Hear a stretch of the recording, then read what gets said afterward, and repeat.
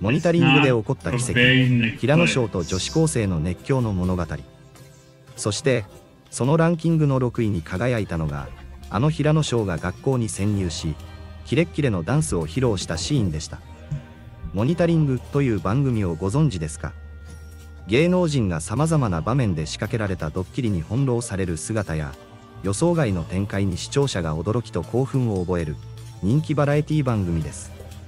その中でも特に記憶に残る企画の一つに2022年夏の真夏の熱狂。絶叫。最強ランキングトップ10があります。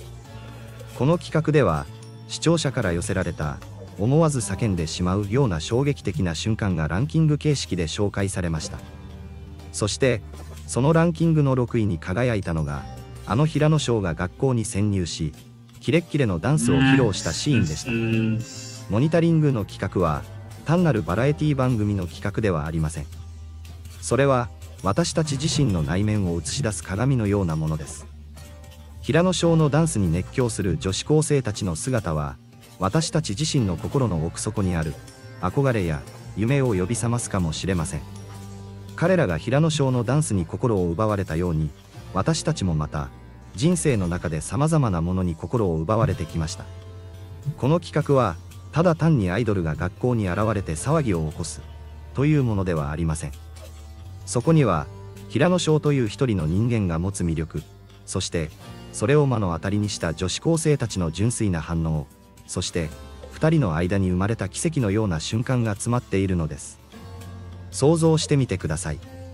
普段はテレビや雑誌でしか見られない人気アイドルが突然自分の目の前に現れた時あなたはどんな反応をするでしょうか？心臓がドキドキして言葉も出なくなるかもしれません。周りの友達と顔を見合わせ現実なのか夢なのかわからなくなるかもしれません。あるいは歓声を上げ、涙を流すかもしれません。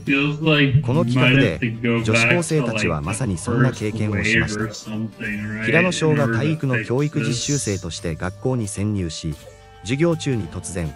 自身の楽曲、一番の MV が流れ始めます。そして、音楽に合わせて平野翔が踊り始めると、教室はたちまち熱狂の渦に巻き込まれていきました。女子高生たちは、最初は戸惑いながらも、次第に平野翔のダンスに魅了されていきますそして彼のキレッキレの動き力強い表情そして圧倒的な存在感に言葉も出ないほど心を奪われてしまいました。中には興奮のあまり腰を抜かしてしまう生徒もいました。このシーンはまさに熱狂そのものでした。平野翔のダンスに対する熱意女子高生たちの純粋な喜びそして2人の間に生まれた奇跡のような瞬間が画面を通して伝わってきました。しかしこのシーンは単なる熱狂だけではありませんそこには平野翔という一人の人間が持つ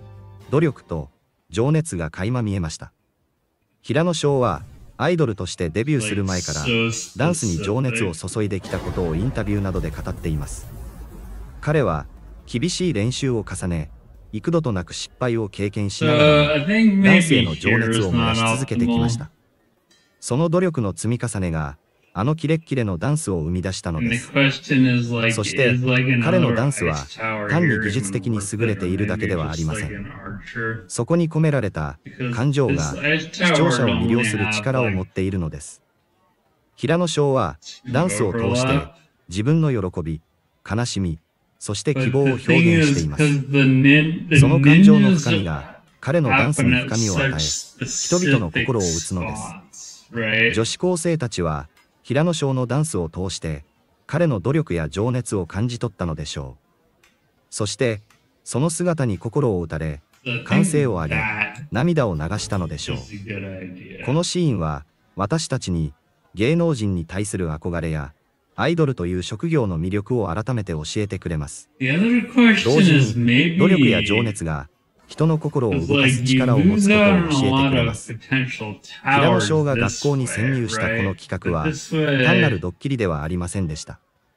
それは、平野翔という一人の人間が持つ魅力、そして、それを目の当たりにした女子高生たちの純粋な反応、そして、二人の間に生まれた奇跡のような瞬間が詰まった感動的な物語だったのです。しかし、この物語はまだ終わりではありません。平野翔はこれからも様々な挑戦をし、新たな夢に向かって進んでいくでしょう。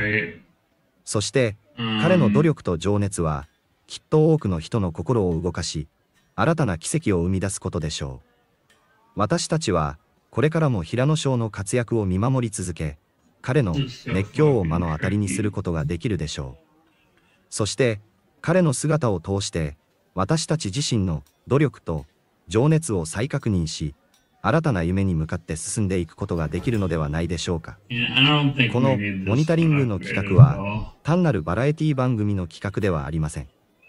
それは、私たちの心を揺さぶり、人生の価値観を問いかける、深いメッセージを私たちに伝えてくれる、貴重な体験でした。この企画を通して、あなたはどんなことを感じましたか？平野翔のダンスに魅了されましたか？女子高生たちの純粋な反応に感動しましたか？それとも何か別のことを考えさせられましたか？この企画は私たちに多くの質問を投げかけてくれます。そしてそれぞれの答えは私たち自身の心の中にだけ存在するのです例えば子供の頃に憧れたヒーロー学生時代に夢中になったスポーツ。大人になって出会った大切な人。そして叶えた夢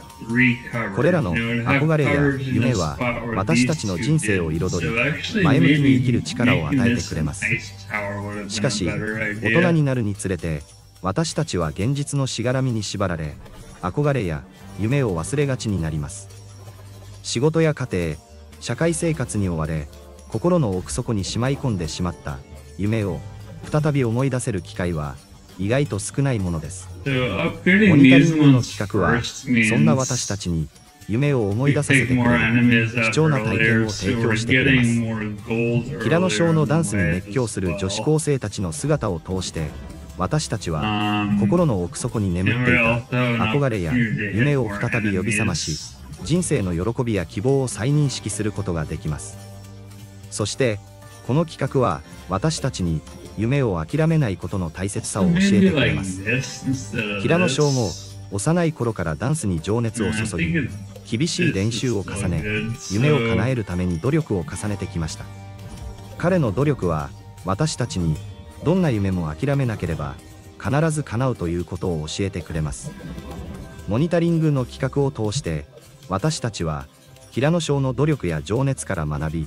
自分自身の夢を再確認しそれを叶えるために努力を続ける勇気をもらえます。しかし夢を叶えることは決して簡単なことではありません。